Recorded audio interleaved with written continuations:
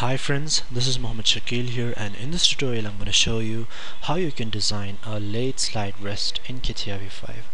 On the right side you can see the completed design of the lathe slide rest with all the different parts being assembled together and in this particular part of the tutorial I'll be showing you how you can design the third part that is the sliding nut in uh, CATIA V5. Alright, now I'll just uh, show you the sliding nut is over here. And it comes over here at this particular position. So let me just show you how where it comes. It comes beneath over here. Alright? Now let me open up a new workbench.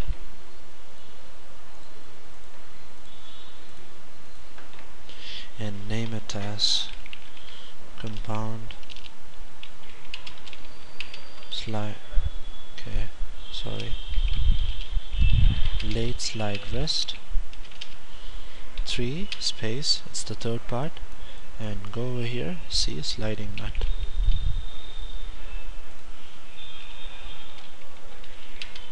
Slide in nut okay. We got a new drawing over here. And come to this drawing and zoom into the place where you want to draw it uh, and another thing if you want these drawings you can follow me on my blogspot that is www.cadmadeeasy.blogspot.com and uh, I recently started uh, blogging and you can see the uh, you know the post related to these uh, tutorials and the drawings related to that also will be uploaded there. You can uh, click on those drawings and download it to your hard disk and refer to it and do it so my subscribers have been asking me to you know um, uh, you know upload such kind of blog for a long time and I just started uploading two days back. Okay let's just come back to the drawing. Select this face here. Click on the front view. And create a rectangle. And a circle here. And trim out these portions and allow symmetry line make it a symmetric.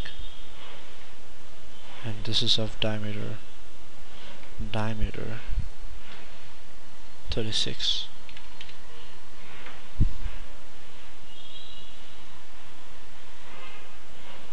coincidence? Now this one this particular distance not that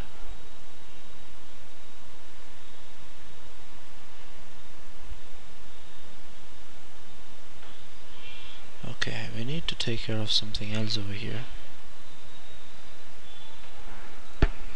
Now analyze this particular height over here. From this center center point of the circle to this particular edge it is at a distance of 19 what else is to be constrained?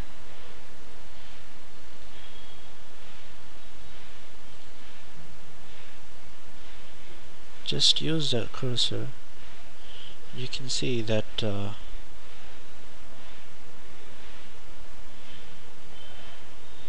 it still has some defect I should say.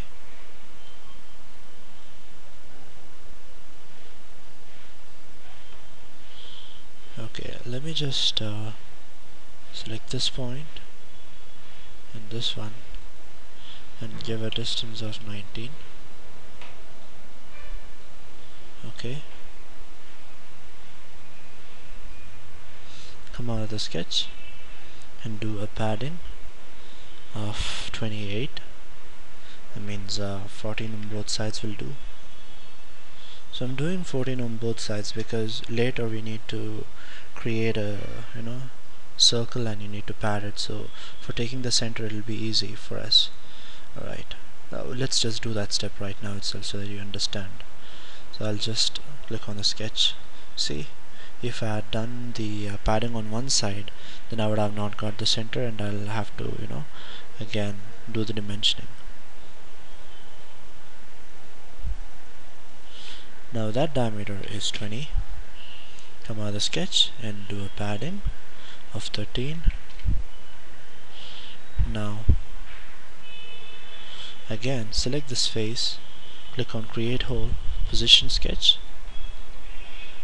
And select this hole and select this and go for concentricity so that the point goes and stands with respect to this uh, circle here. Come on sketch. And give a diameter of 20 and up to next would do.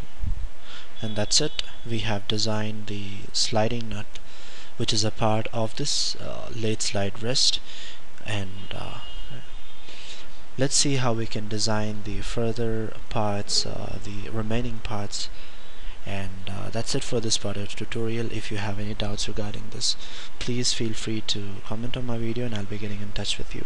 And you can also write to me at catia.pro.user if you have any doubts or uh, if you have any CAD related uh, queries or any CAD projects. And um, alternatively you can uh, follow me on my blog that is uh, www.cadmadeeasy e a s i s y dot blogspot.com that's it and uh, stay tuned guys. Thank you so much